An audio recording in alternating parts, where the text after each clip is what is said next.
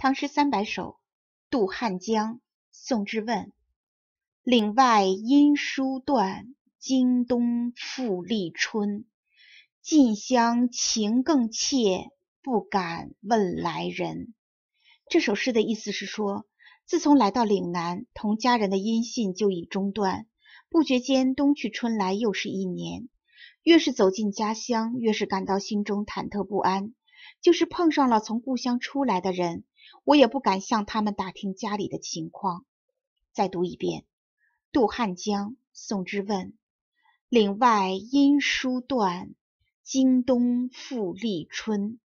近乡情更怯，不敢问来人。